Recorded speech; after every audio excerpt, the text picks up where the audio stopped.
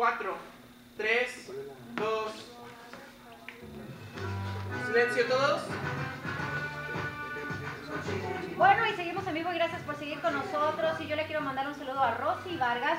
Un besote, ella nos llamó de Rancho Cucamonga y dice que la verdad estaba un poquito así media molesta porque dice que ella es de rancho y yo le pido disculpas, tiene toda la razón. Yo nada más dije que simplemente para aclararlo el tema de Espinosa Paz, es decir, que muchas personas critican a las personas de rancho y piensan que no tuvieron escuela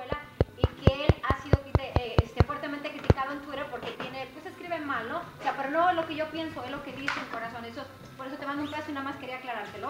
Bueno, déjame les platico